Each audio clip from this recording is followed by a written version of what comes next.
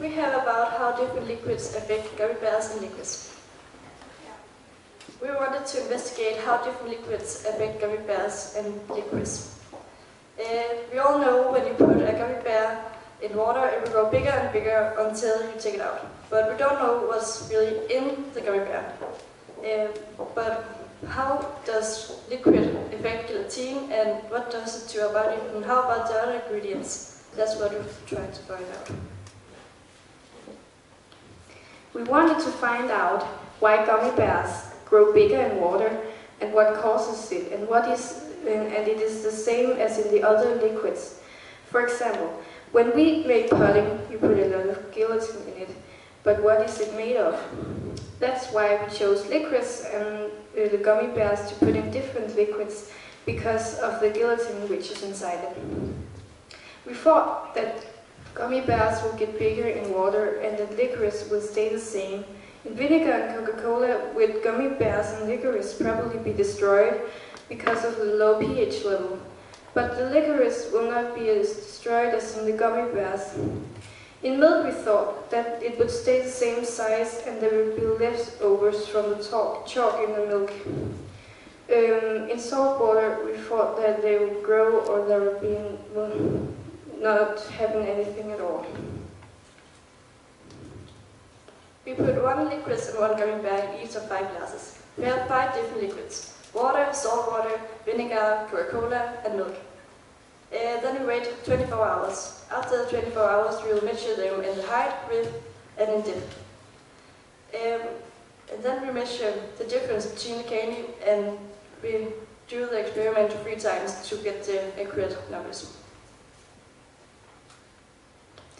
Um, the things we used in the project was five plastic cups or regular cups, five gummy bears, five salty licorice uh, called Piratos, um, five 0.5 deciliter of the things I mentioned now, vinegar, Coca-Cola, salt water, water, milk, and then we repeat three times.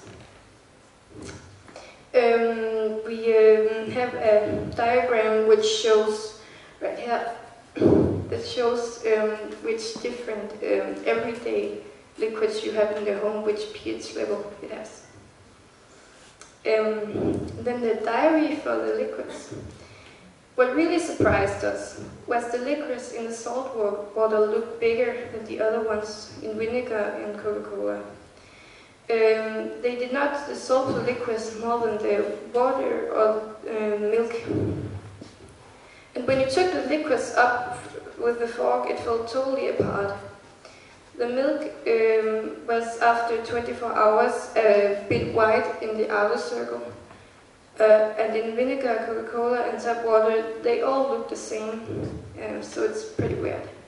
Uh, in salt water, um, the salt and the water were on the upper surface, as you might see here. Um, and the liquids were actually bigger. Går vi lige over dansk øh, til dagbogen fra vores eksperiment med vingummier. Først målte vi tre vingummier, og så tog vi gennemsnittet af det, for at finde det præcise tal. Øh, vi målte, at det var 2,1 i højden, 1,1 i bredden og 1,3 cm i dybden. Der tog vi 15 vingummier, Haribo på gulvbærs og 15 plastikkopper. Vi har fem forskellige væsker, som før. Øh, mælk, vand, saltvand, eddike og Coca-Cola. Der er fem 1,5 dl af hver væske.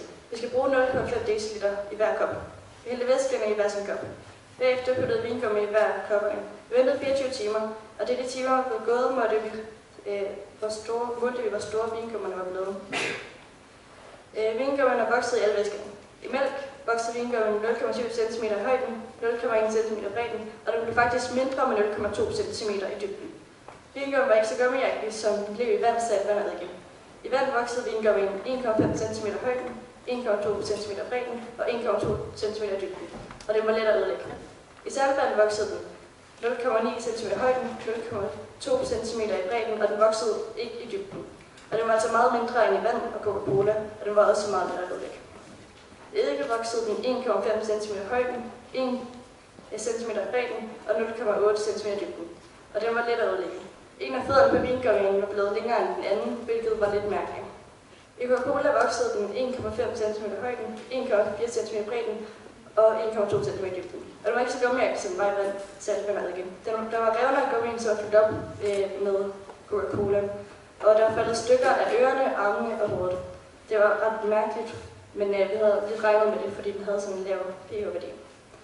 Øh, vi kan altså konstatere, at vingummien i Coca-Cola er blevet størst, hvilket overraskede os meget, fordi at pH-værdien er meget lav, så den burde et til.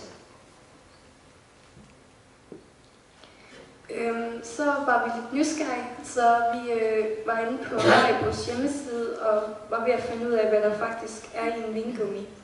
Og det øh, her er så nu, hvor vi skal spørge jer, øh, om der er nogen, der ved, hvad der er af nogle ting, som man måske ikke har regnet med i vingummibamser. Er nogen, der ved en speciel ingrediens? Ja. Ja. Det har du helt ret i. Andre?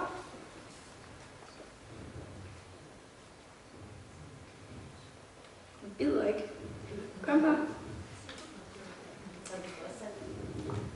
Øh, nej, det står der ikke her øhm, som øh, der er faktisk øh, nogle specielle ting i. Øhm, vi fandt ud af, at der er øh, bivoks i. Og det er altså øh, når man tager ned på en bifarm, og det der honning, der er i de der vægge der, det der, den væg, det er faktisk øh, noget af det, som der er i vingummibamser. Noget af det, man smører vingummibamser med. Øhm, og så er der bilvoks i. Det du vokser dine biler med, nu for at gøre dem rigtig skinnende, dem pensler du altså også vingummibamser med, for at de ikke skal klistre i posen, når det bliver varme. Øh, en anden ting er, at der er en tropisk algeart i.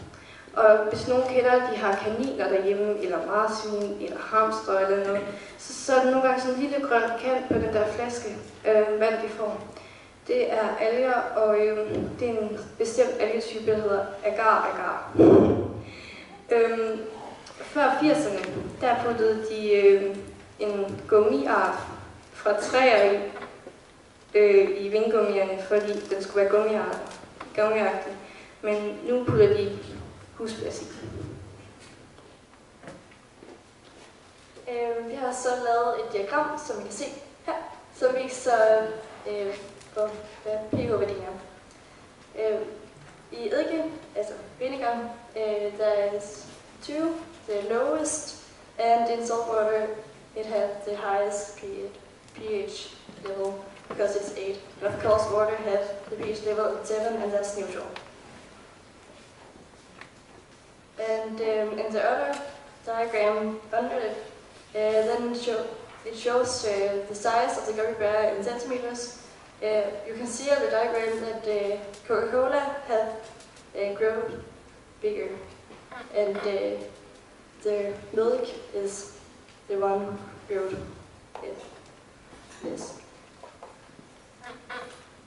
So our conclusion is that we found out the gummy bears grow in all our liquids, but it acts differently uh, with the size, color and softness. Um, licorice become more liquid-like and fall apart when you remove it from the liquid with a fork.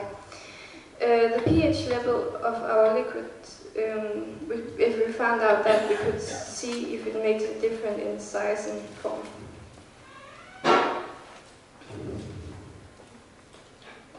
Uh, what we learned? We learned that Coca-Cola is bad for everybody, because if you ruins a gummy bear, then it will probably also ruin you. We cannot say it enough times, Coca-Cola is bad for everybody. We all know it, but we still drink it, and that's might be because of the flavor. Um, we also learned that licorice, uh, there's not as much gelatin in it than there is in gummy bears, because gummy bears grew much more. Um, it's, we learned it's much important to repeat the experiment three times or more to get the proper result. Um, we also learned new words, especially from the ingredients in the gummy bears. And we learned that gummy bears are truly disgusting. Um, then we have a list of people we would like to thank. Um, and yeah, we would like to thank everybody who has helped us with the project.